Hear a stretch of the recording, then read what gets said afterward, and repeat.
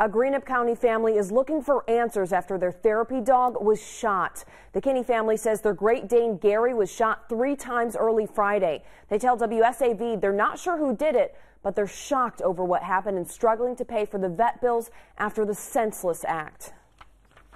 A lot of anger um, toward whoever would do this to to a family pet. It was just like anger, and then once I seen him laying on my mammal's porch, just bleeding everywhere.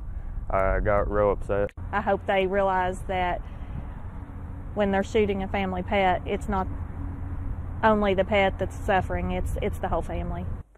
They say Gary helped a family member through a serious injury last year, and now the roles will be reversed during the dog's long road to recovery.